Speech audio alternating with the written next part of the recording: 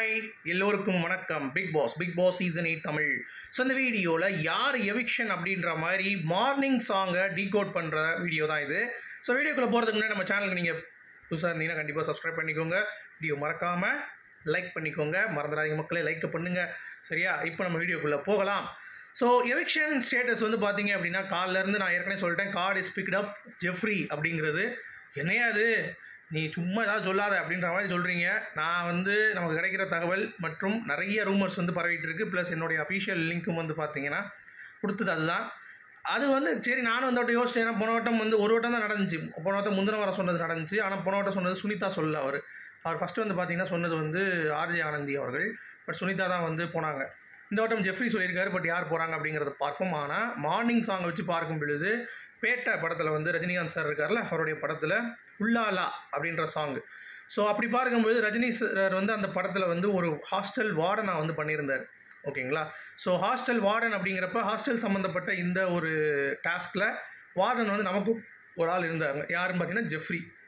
அதுக்கடுத்து வாட்ச்மேன் ஒருத்தர் இருந்தார் அது வந்து சிவகுமார். ஸோ ரெண்டும் ஒன்று தான் ஒரு கிட்டத்தட்ட ஏன்னா அவர் தான் வந்து அந்த ஹாஸ்டல் ஃபுல்லாகவே வந்து வெளியே சேரை போட்டு பாதுகாத்துட்ருப்பார் நம்ம எப்படி அந்த மால் சுற்றியில் வச்சுட்டு அப்படி இப்படி பண்ணிட்டு இருந்தார்ல.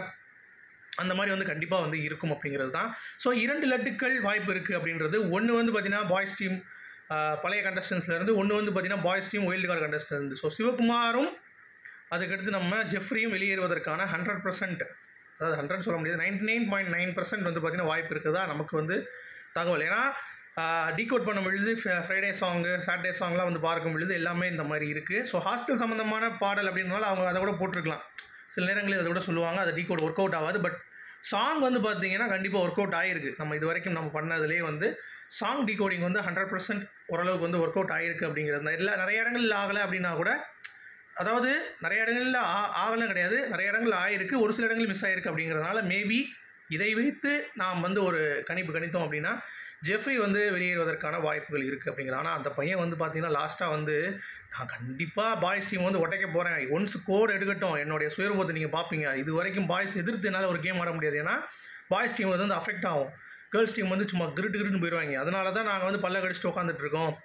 எல்லாரும் வந்து பார்த்துட்டு ஸோ அதனால் நீங்கள் அதை புரிந்து கொள்வீர்கள் அப்படிங்கிறத நாங்கள் வந்து நம்புகிறோம் அப்படின்ற மாதிரி ஓப்பனாகவே சில விஷயங்கள் வந்து பிளான் பண்ணி கண்டிப்பாக வந்து சொல்லியிருக்காங்க அப்படிங்கிறது தான் ஜெஃப்ரி பொறுத்த வரைக்கும். ஆனால் ஜெஃப்ரியை தூக்கிட்டீங்கன்னு நான் எதிர்பார்க்கவில்லை. ஆனால் கண்டிப்பாக இந்த டிசிஷனை ஜெயசதுபதி அவர்கள் வந்து கொஞ்சம் ஃபில்டர் பண்ணி நிறையா விஷயங்கள் பண்ணலாம்.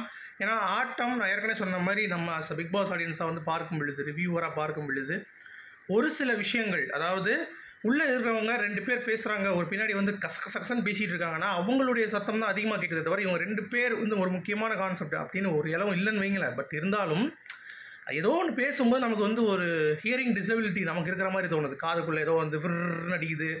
கச கச கசகசன் இருக்குது இவங்க என்ன பேசுகிறாங்க அப்படிங்கிறது கரெக்டாக மேக்னிஃபை பண்ணி நம்மளால் எடுக்க முடியல. ஸோ அந்த ஒரு விஷயம் நான் கண்டிப்பாக சொல்லியிருந்தேன். மேபி அது வந்து இந்த இடத்தில் ஒர்க் அவுட் ஆகும்னு நினைக்கிறேன். இந்த சீசனில் கண்டிப்பாக ரெண்டு பேர் தூக்குனா அட்லீஸ்ட் ஹவுஸ்லேருந்து கொஞ்சம் குறைவாங்க ரெண்டு பேர் அப்படிங்கிறப்ப அந்த டெசிபிளும் வந்து கம்மியாகும்.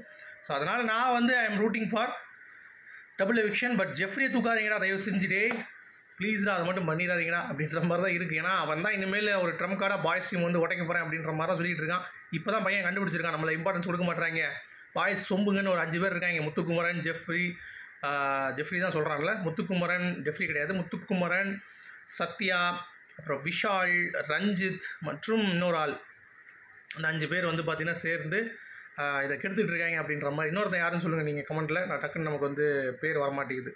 ஸோ சத்யா விஷாலு அப்புறம் முத்து அப்புறம் வந்து ரஞ்சித்து இன்னொன்று யாருங்க? தீபக். ஸோ அஞ்சு பேர் வந்து பார்த்திங்கன்னா ஒரு டீமாக செயல்படுறாங்க அப்படிங்கிறது ஜெஃப்ரியின் கூற்று. ஸோ அதை உடைப்பாரா அப்படிங்கிறதுக்கு முத இந்த கோட்டை தகர்த்து எரிய வேண்டும். சரிங்களா? அதே மாதிரி ஓட்டிங்கில் அஃபீஷியலில் இன்றைக்கி சேவிங் சௌந்தர்யா அப்படி இல்லைன்னா ரணாவ். ரணாவ் பண்ணால் இன்னும் செம்மையாக இருக்கும். உங்களுடைய கருத்துக்கு சொல்லுங்கள் மீண்டும் சந்தி குட் பை